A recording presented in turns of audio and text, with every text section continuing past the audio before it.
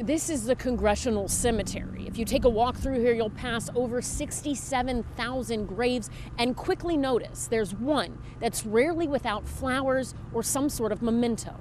Leonard Matlovich died because of AIDS in 1988. His grave is adorned with flowers, stones, coins, flags, pins. They aren't all like this. Matlovich is special. I had to come forward and say, no more America. Since their inception, our military forces have had an absolute ban on homosexuals.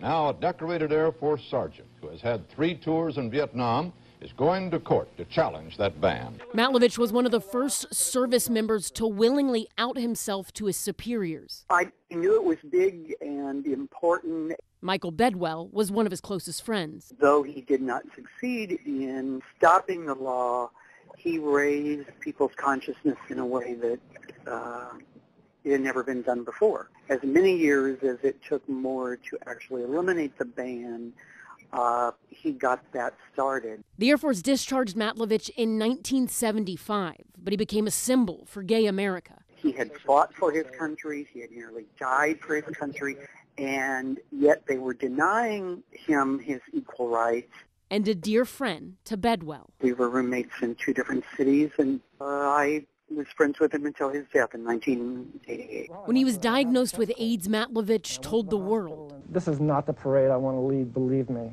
But I have it. I don't know how long I have to live.